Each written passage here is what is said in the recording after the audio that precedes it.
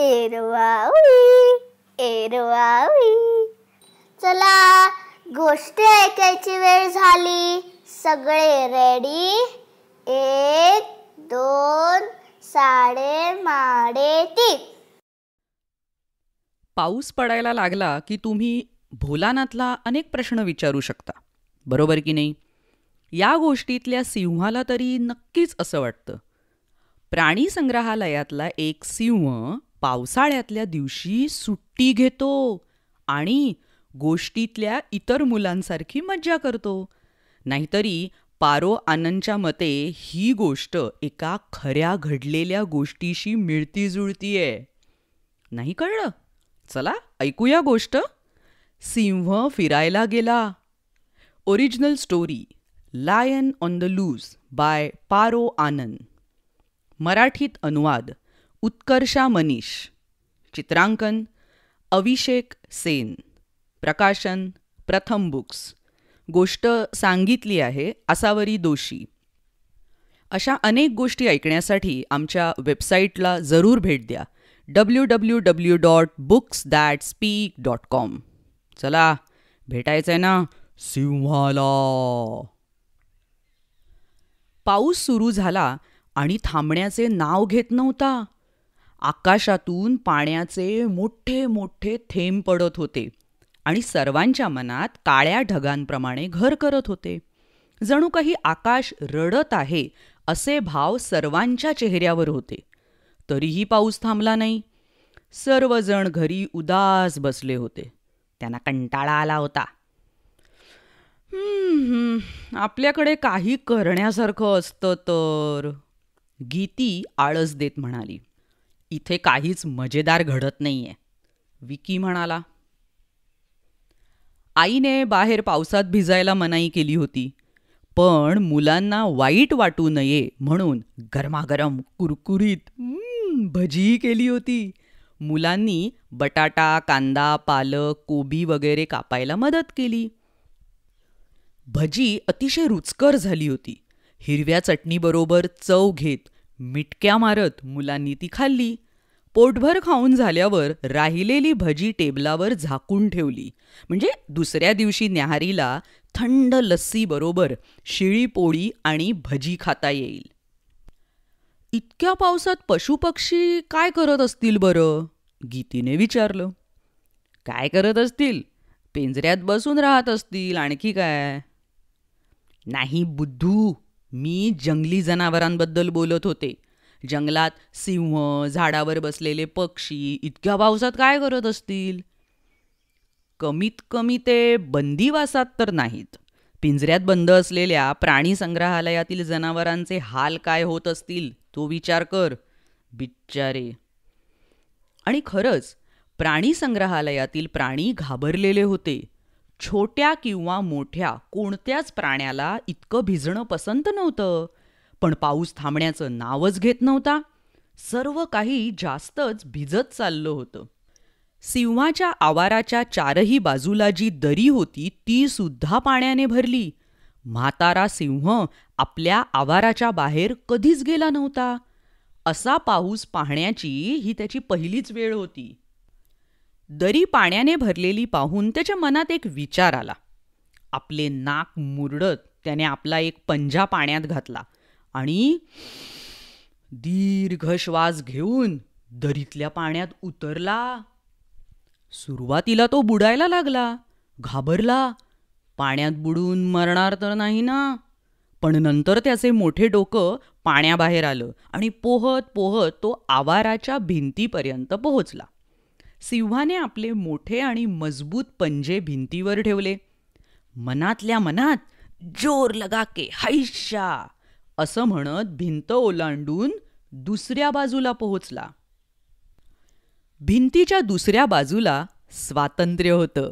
तो कुठेही फिरू शकत होता कुठेही जाऊ शकत होता काहीही करू शकत होता. आज सिंह महाराज काहीतरी अनोखं करणार होते. खूप रात्र झाली होती आणि प्राणी संग्रहालयातील पहारेकरी गाढ झोपले होते. कोणीच सिंहाला बाहेर पडलेलं पाहिलं नाही. आज सिंह आपल्या मर्जीचा मालक होता. हळूच अगदी दबक्या पावलांनी तो अस्वलाच्या पिंजऱ्यापाशी गेला. अस्वल जेव्हा दचकून झोपेतून उठलं तसं सिंहाने त्याला डोळा मारला. एक एक करून सर्व पिंजऱ्यांना पाहून सिंहाला कळलं की स्वातंत्र्य किती चांगलं असतं आणि त्याच्या मनात एक विचार आला. त्याला पूर्णपणे स्वतंत्र व्हायचं होतं. पण तो तर अजूनही प्राणी संग्रहालयाच्या भिंतीमध्ये कैद होता. मग तो सर्व पिंजऱ्यात रस्ता विचारत प्राणी संग्रहालयाच्या प्रवेशद्वारापाशी पोहोचला. अचानक त्याला माणसाचा वास आला. हळूच त्याने तिकीट खिडकीतून डोकावून पाहिलं आणि त्याला लाठी घेतलेला एक चौकीदार बसलेला दिसला. सिंहाला माहीत होतं तो त्याला प्राणी संग्रहालयाच्या बागेच्या बाहेर असंच फिरायला नाही देणार. म्हणून लपूनच त्याने काही वेळ चौकीदाराला पाहिलं. काही क्षण गेले तरी चौकीदार हल्ला नाही. सिंहाला घोरण्याचा आवाज आला. जेव्हा त्याला पूर्ण पटलं की चौकीदार झोपला आहे तेव्हा तो तिकीट खिडकीच्या समोरून निघाला. हुर्र! चौकीदार झोपेत बडबडला. एक क्षण सिंह इतका घाबरला की त्याने जोरात डरकाळी फोडण्यासाठी तोंड उघडलं. पण नंतर चुपचाप दबक्या पावलांनी हळूहळू प्राणी संग्रहालयाच्या मोठ्या दरवाजातून बाहेर पडला. तो सिंह पहिल्यांदा लांब काळ्या आणि ओल्या रस्त्यांवर चालत होता. आश्चर्याने त्याने रस्त्याच्या दोन्ही बाजूंच्या उंच इमारतींकडे पाहिलं. प्रत्येक सुक्या जागेत माणसांना झोपलेलं पाहून तो थोडासा हैराण झाला. अशाच एका कांबडीमध्ये झोपलेल्या छोट्या मुलाचा त्याने वास घेतला. तो मुलगा आपले मोठे डोळे झोपेतून उघडत बोलला. बाबा सिंह फिरायला आला आहे. त्याचे वडील झोपेतच म्हणाले तो जाईल तू झोप बघू. सिंह चालतच होता. तो एवढं कधीच फिरला नव्हता. तो आता बाजारात पोहोचला. तिथेही सर्व गाढ झोपले होते.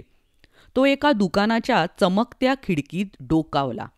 त्यात ठेवलेल्या वस्तूंकडे त्याने थोडा वेळ पाहिलं.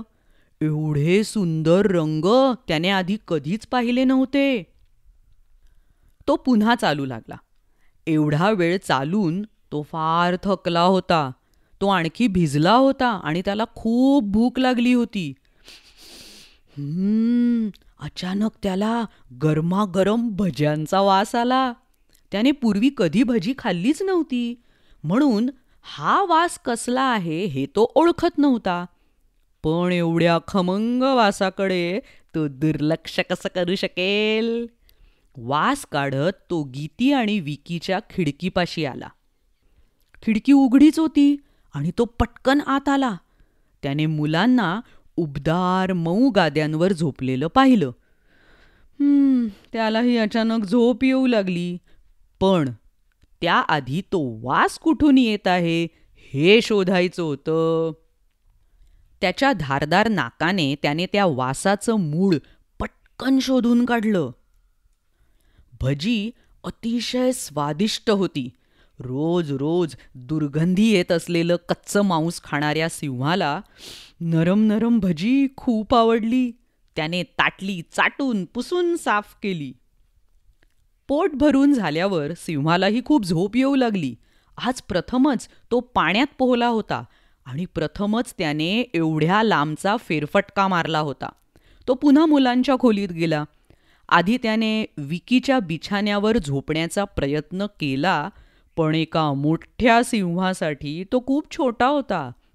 नंतर त्याने गीतीच्या बिछाण्यात घुसण्याचा प्रयत्न केला. तिथेही तो पुरत नव्हता. शेवटी तो पलंगाच्या खाली गेला. एक मोठ्या धष्टपुष्ट सिंहाला झोपण्यासाठी ती जागा अगदी बरोबर होती. तो आरामात तिथे झोपला. दुसऱ्या दिवशी सकाळी जेव्हा आई उठली तेव्हा भजी गायब. विकी गीती तुम्ही रात्री सर्व भजी खाल्ली का? आम्ही नाही आई. बिलकुल नाही. तुम्ही नाही तर कोण खाणार? खोटं बोलू नका. हम्म, मग सिंहाने खाल्ली असतील. कुठला सिंह? गीती मूर्खासारखं काही बडबडू नकोस. नाही आई आमच्या पलंगाखाली खरोखरच एक सिंह आहे. काय? आई जोरात किंचाळली. धावत जाऊन पलंगाखाली सिंहाला शोधायला गेली. शोधूनही सिंह सापडला नाही. शी मुलांनो तुम्ही मला उगाच घाबरवलं. इथे सिंह वगैरे काही नाही आहे मी पण तुमचं बोलणं पटकन खरंच मानलं. आई पण खरंच इथे सिंह होता. अगदी नक्की. बघ बघ गालीच्यावर सिंहाच्या पायाचे ठसे आहेत आणि आमचे बिछानेही भिजलेत. आणि माझ्या अंथरुणावर सिंहाचे केसही आहेत. बिचारा पावसापासून वाचण्याकरता आतमध्ये आला असेल. शेवटी आईला मानावंच लागलं सिंह आला होता म्हणून. पण खूप शोधूनही तो सापडलाच नाही. माहितीये का? मस्त झोप झाल्यावर त्या समजूतदार सिंहाने विचार केला. की कोणी घाबरण्याआधीच मला प्राणी संग्रहालयात परतलं पाहिजे. सूर्य उगवताच तो पुन्हा त्याच रस्त्याने परत गेला. रस्त्यात त्या छोट्या मुलाखेरीज त्याला कोणीही पाहिलं नव्हतं. त्या मुलाने त्या सिंहाच्या नाकावर थापटून विचार केला की मोठी लोक लहान मुलांचं बोलणं मानतच नसतील तर त्यांना सांगून काय फायदा की सिंह फिरायला आला होता म्हणून? सिंह प्राणी संग्रहालयाच्या तिकीट खिडकीच्या चौकीदाराच्या बाजूने निघत आपल्या आवारात आला. आज खरंच खूप मज्जा आली. आपल्या घरी पोचल्यावर तो फारच खुश होता. जसा पाऊस थांबला तसं विकी आणि गीती प्राणी संग्रहालयात गेले. सिंहाच्या आवाराच्या जवळ जाऊन कुजबुजू लागले. सिंहानेही त्यांना ओळखलं आणि जोरात डरकाळी फोडून आपल्या मित्रांचे आभार मानले. पुढच्या वेळी जेव्हा पाऊस येईल तेव्हा कदाचित सिंह तुमच्या घरी येईल. त्याच्यासाठी तुम्ही गरमागरम भजी ठेवायला विसरू नका मुलांनो ही गोष्ट एका सत्यकथेवर आधारित आहे. एकदा राजस्थानमधल्या जयपूरमध्ये एवढा पाऊस पडला की खरोखरच एक सिंह आपल्या पिंजऱ्यातून बाहेर पडून फिरू लागला. बिचारा एवढा भिजला की नंतर तो तिकीट घरात जाऊन बसला. जिथून त्याला पकडून पुन्हा पिंजऱ्यात टाकण्यात आलं. म्हणून विचार केला की या गोष्टीत त्याला फिरायला जाण्याची एक संधी तर मिळू दे. काही मगरीही आपल्या आवाराबाहेरील दरीतून पोहत बाहेर आल्या होत्या. पण ती गोष्ट पुन्हा कधीतरी. आ गोष्ट संपली पण. तुम्हाला पण अजून गोष्टी ऐकायच्या आहेत ना? मग या. W W W dot books that speak dot com वर भेटूया. एरवावी एरवावी.